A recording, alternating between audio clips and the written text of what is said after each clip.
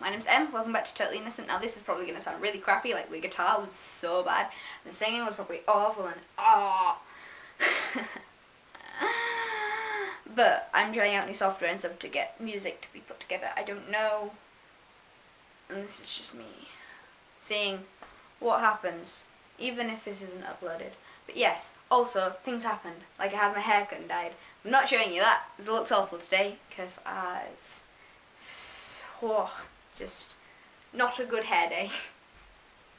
but yes, I hope you enjoyed, and I hope that I will be bringing this back, because school's over now. So I have lots of free, lots of free time. Um, and you'll probably be seeing some more of me Okay, yeah, that's all I have to say. I don't know how to do this anymore. Bye.